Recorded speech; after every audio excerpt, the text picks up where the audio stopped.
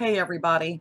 I bought a car off of Craigslist a few weeks ago. Um, we needed something in a hurry and we didn't have a lot of cash to spend. Um, bought a car. It was decided that my husband would stay here with the kids and I'd go pick it up. And uh, I went to pick it up. It was hideous, ugly, and I was like, screw it. It's just temporary. We're going to get it paid $600, got it home, cut it off, it never started again. Turned around and resold it on Craigslist the next day with the whole story out there. I didn't lie to anybody. I told them exactly what happened. And um, I did a screen grab of that ad before I took it down once it was sold. So I'll show you that ad. I'm not going to let this like sit for too long. So when I put it on the the words, just pause it so you can read it.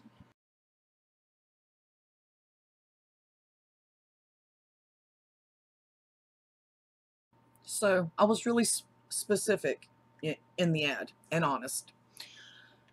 But, you know, I said no text. Don't text me, I won't respond. I kept getting texts anyway. Not all of them, but most of them. And um, the car did sell, but this is one of the texts that I got. And the car was already sold at this point. Again, I'm not going to let it sit for too long. So just with each spot, if you, you know, you need to pause it. So.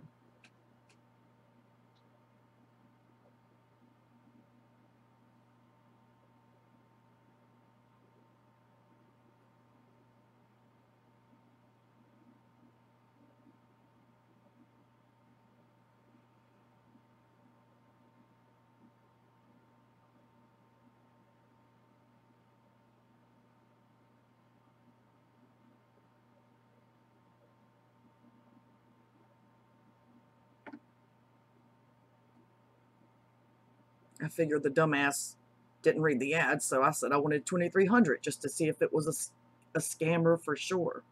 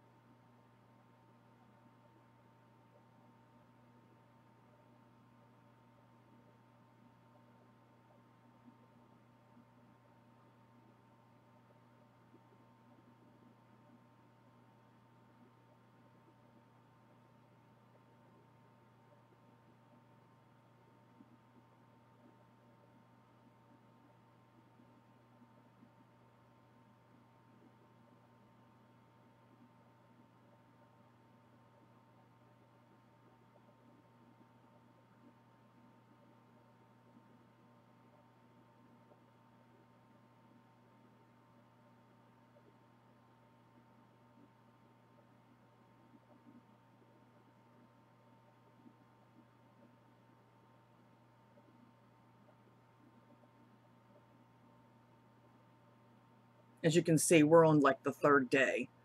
It was started on the 25th and the 28th and now the 31st. And that's where it ends. So that was fun. Thanks for stopping by and listening to my shit. Hit the red button below and hang out with me some more. And everyone have an amazing night. Bye.